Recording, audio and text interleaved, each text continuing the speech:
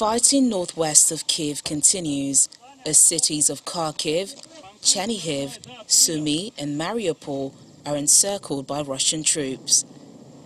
According to reports, Russian ground forces are 25 kilometers from the center of the Ukrainian capital.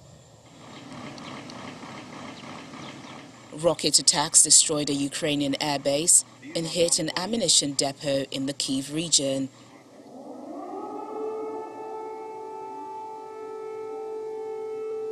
Sirens and explosions have also been heard in many cities across the country. Officials in Ukraine's second city of Kharkiv say at least one person was killed after residential buildings were hit by shelling. Ukrainian officials say Russia has again prevented civilian evacuations. Plans had been made to open up humanitarian corridors and get people out from cities under Russian attack, including Mariupol, where conditions are said to be critical.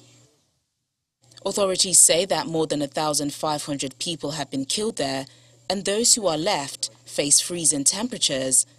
The city currently experiences limited to no power and little food and water. Meanwhile, hundreds of residents have taken to the streets of the southeastern city of Melitopol to protest against the abduction of its mayor by Russian forces. In his latest video address, Ukrainian President Volodymyr Zelensky demanded the mayor's release. He also revealed that 1,300 Ukrainian troops have died in the conflict so far and says Russia is sending new forces to Ukraine after suffering what Zelensky describes as Moscow's biggest losses in decades.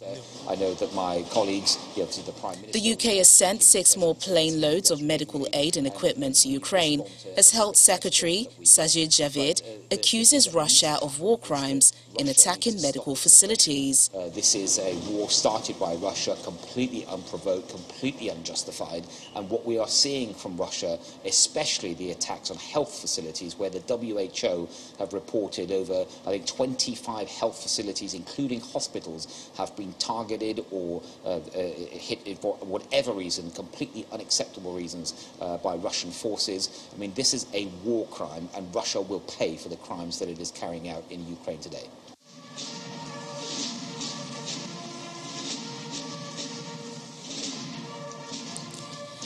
The leaders of France and Germany have again held another round of phone talks with Russia's President Vladimir Putin. They called on the Russian president to declare an immediate ceasefire. The French president's office said after the meeting that Russian President Vladimir Putin showed no willingness to end the war. Ukraine's foreign minister says the country is ready to enter into negotiations with Russia, but that its forces will not surrender to Vladimir Putin's regime. Of course, this doesn't exclude the track of diplomacy and the need to talk and to find find solutions. But uh, as President Zelensky said on a number of occasions, uh, we are ready to negotiate, but we are not going to accept any ultimatums and surrender. The conflict has now sent 2.5 million Ukrainians fleeing to neighboring countries. And the situation really, I can't speak without. Uh, tears. I'm sorry, but I'm really sorry for my country, and nobody could expect this. Really, this is awfully awful things. They're bombing Kharkov, they're bombing Nikolaev. It's only 120 kilometers from Odessa, and it's painful inside.